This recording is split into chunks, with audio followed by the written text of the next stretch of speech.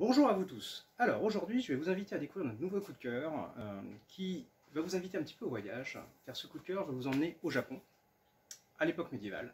Alors attention, ce n'est pas un ouvrage historique, on est sur à l'origine un roman, une série de romans qui a quand même eu beaucoup de succès, qui continue à en avoir. Euh, on parle même d'adaptation au cinéma, parce qu'a priori Universal aurait acquis les droits. Reste à vérifier parce qu'avec tout ce qui se passe, on ne sait pas encore pour l'instant. Mais toujours est-il qu'on venait sur une aventure épique dans un, Japon, médiéval rêvé, imaginaire, mais quand même inspiré euh, de la réalité. Ça, c'est le clan des Otori. Alors oui, certains d'entre vous l'ont peut-être déjà lu, hein, euh, il y a un cycle de 5 tomes si ma mémoire est bonne, et c'est pas fini, il y a d'autres cycles. Euh, là, on s'occupe du premier cycle en suivant l'histoire du jeune Tomasu, qui se retrouve bah, coincé entre les rivalités de clans, à savoir trois clans qui essayent de maîtriser euh, ce qu'on appelle les trois pays. Euh, et dans ce clan, il y a notamment les Otori. Otori, dirigé par Shigure, qui va être celui qui va sauver notre jeune Tomasu.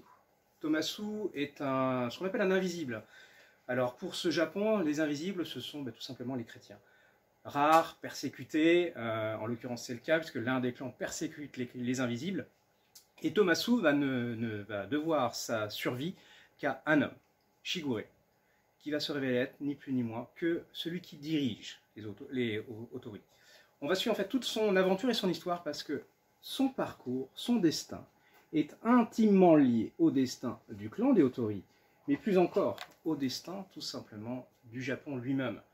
Et pour cela, il va falloir qu'il découvre qui il est réellement, parce que certes, c'est un invisible, mais son histoire, son passé, semble avoir un lien avec l'origine de ce Japon rêvé, euh, mais aussi semble avoir un rôle à jouer très important pour le devenir du clan. Euh, ainsi, Tomasu devient Takeo, fils héritier des Otori, et c'est là que les ennuis ont commencé. Donc je vous euh, conseille de vraiment découvrir cet album si vous ne connaissiez pas déjà les romans, même si vous connaissiez les romans, comme vous avez pu voir le dessin, euh, nous emmène vraiment dans cet univers. Ça reste euh, un, album qui va vous euh, emporter ailleurs, vous changer complètement de vie. On est dans de l'aventure, dans de l'épique, je vous dirais bien le fantastique, mais ça reste vraiment très léger.